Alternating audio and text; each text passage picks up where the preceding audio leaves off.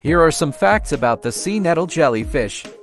The sea nettle has a bell-shaped body that is usually translucent and has a reddish-brown color. It has long, slender tentacles that hang from the bell and are covered in small stinging cells called nematocysts. They can grow up to 30 centimeters in diameter, and their tentacles can reach up to 3 meters in length. Sea nettles are found in temperate and tropical waters, primarily in shallow bays, estuaries, and harbors. Sea nettles are known to form massive blooms or aggregations, sometimes consisting of thousands of individuals, which can impact local ecosystems by reducing the number of other species in the area.